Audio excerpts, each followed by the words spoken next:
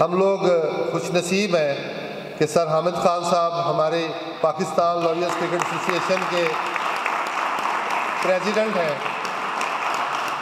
Justice retired Asad Munir साहब Pakistan lawyers cricket association के general secretary हैं।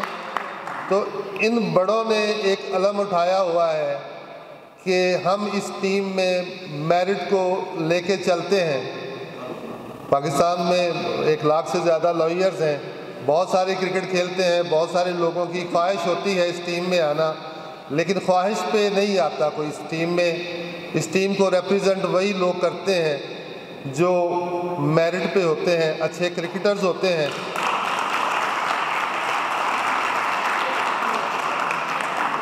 और अपने मुल्क के एम्बेसडर्स होते हैं। मेरिट का जो रिज़ल्ट है, वो आप लोगों के सामने ये पड़ा हुआ है।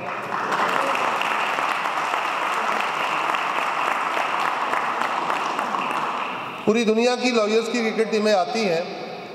हम पाकिस्तान से जाते हैं। डेफिनेटली बड़ा टैलेंटेड है हमारा मुल्क। क्रिकेट के हवाले से लॉयर्स में भी बहुत टैलेंट है।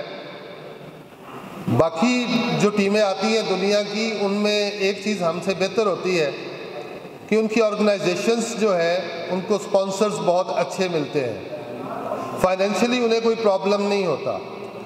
हमारी टीम के बेशतर लड़के जो हैं, वो अपनी जेब से पैसे खर्च करके ट्रैवलिंग एक्सपेंसेस तक जो है टीम खुद एक्सपेंस जो है, बर्दाश्त करती है।